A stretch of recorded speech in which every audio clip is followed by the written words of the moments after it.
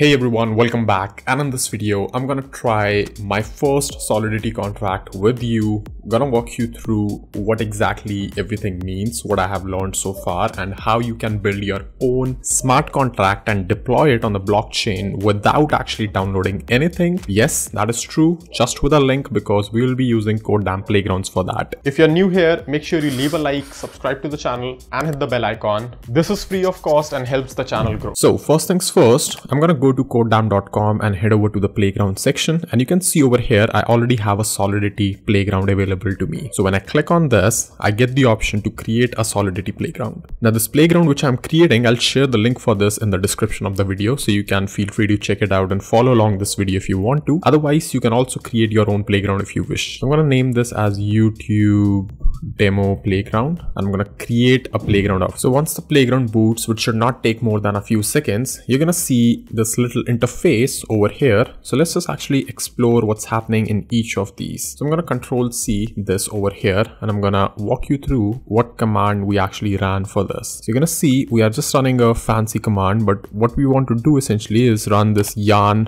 hardhat node. So what we are using in the Codedamn playground is yarn hard hat node. So this command over here starts a mini network from Hardhat, which is running on this local system, and it gives you a bunch of accounts, right? So accounts is basically a way of holding the money.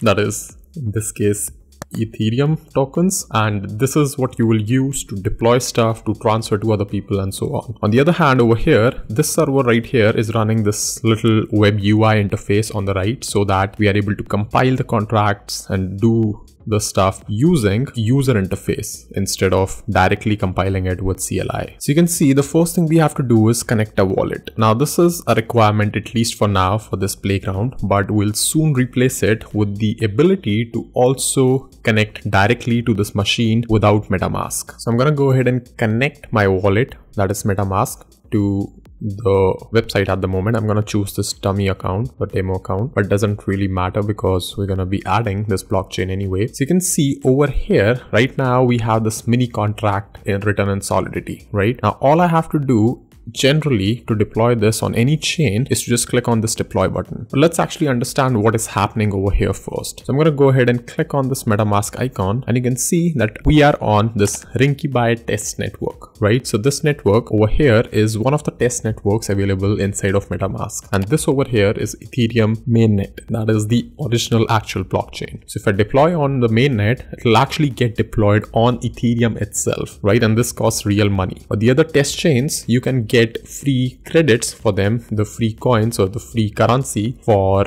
well for free right? So you can see for my account over here i have 0.0983 eth but you can get more eth by clicking on this link. So when you click on this link you have to locate your network. In my case it was this one. I'm going to go to this particular link which says that it can reward me certain eth i'm going to enter my test account that is this link over here. I paste this, I am not a robot and I click on the send request. And you can see it immediately sends me a few tokens right? You just have to wait for a few minutes and you can see in this case just a few seconds. And you can see it has automatically recharged my account. And now if i go back you can see if I let's go into the MetaMask, you can see that it now reflects my updated balance over here, which is awesome, right? Who doesn't love free money? But anyway, now the point is that I'm connected to this chain 4, which is this test network over here, and I have this simple storage smart contract available to me. Now the good thing about this is whatever change you make over here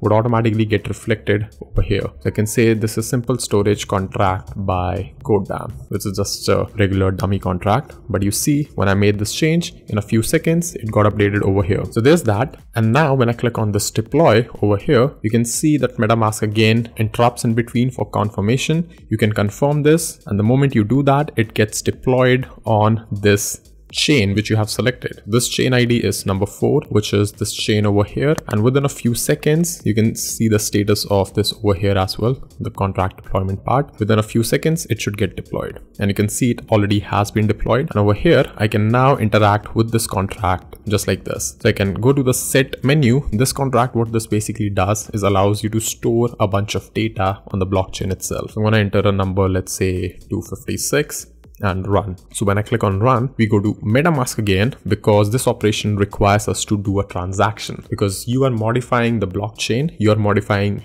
the data inside the blockchain and that requires you to spend some gas, which means that you need to spend it via your wallet. And you can see once that completes, I can head over to get and I can run and I can get the number stored on the blockchain right? Now I can overwrite this number again by going to the set interface and setting this value to let's say some other number. I can click on run again. It spends some gas. It opens MetaMask. I confirm the transaction. And once I do this, it's going to output the transaction hash and our data on the blockchain gets updated. Awesome. Now let's just go ahead and connect with this blockchain over here which is running locally on our system because we haven't done anything yet with this. So the first thing I'm going to do is actually close this and I'm going to start this on port 1338, right? Because we know on Codedamn Playgrounds, which you can see, okay, so there should not be a space in the argument.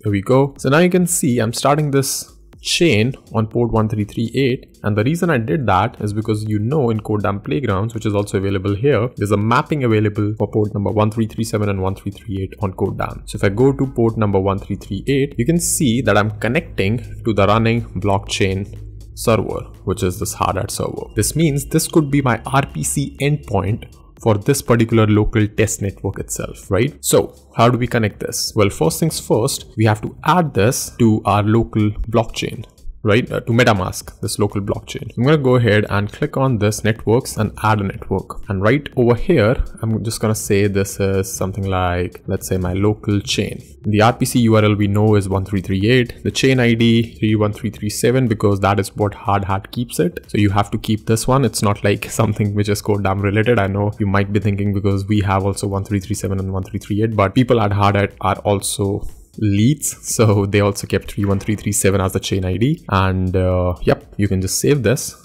Now once you save this you're gonna see it connects to the local chain. That means it has automatically connected to this chain over here right? And you can already start seeing logs over here which is requested by metamask. Okay so now you can see we are connected to chain number 31337 we have the same contract. Let's say this is 31337 now. Now what you have to do is actually before connecting or before actually deploying it just go a little bit above over here and I mean we have to probably start this again. But when we start you can see it gives us a bunch of accounts bunch of account IDs just copy one of the private keys any private account it doesn't really matter. And over here in the MetaMask itself, we need to import an account. Go to this section and click on import account and select the private key and paste your private key which you got. So the moment you import this account, you can see you have a lot of money and it would be great if this was real money. Sometime it might be soon if you deploy some nice contracts on Web3 and get paid for that. But for now, this is money on the test network, right? Now we have this account with us. Let's just refresh this page once. Let's just switch to demo account first and maybe we should just remove the connection. Yeah, so now we can connect the wallet again with another account and you can see over here, I can select account three.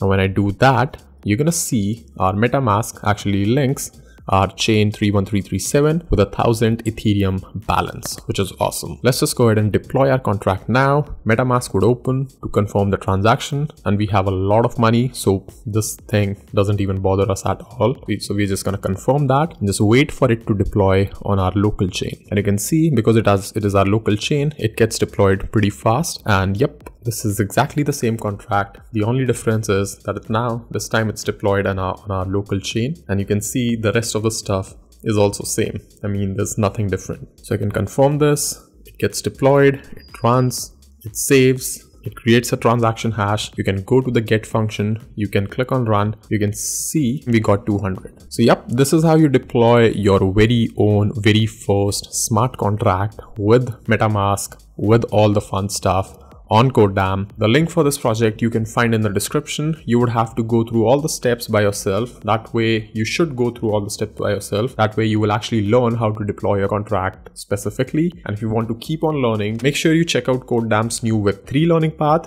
which just recently launched a second course as well, testing your smart contracts with Solidity, Hardhat and Truffle, which is, you know, Hardhat is something which we are using over here. But yep, that's pretty much it for this video. Hopefully you enjoyed working with me on this very basic deployment thing with Solidity. Again, you can find the link in the description. That is all for this video. I'm gonna see you in the next one really soon. If you're still watching this video, make sure you comment down in the comment section, I watched this video till the end. Also, if you're not part of Codedamn's Discord community, you're missing out a lot on events which we organize on a weekly basis to code. You already know the drill. Make sure you like the video, subscribe to the channel if you haven't already, and thank you so much for watching.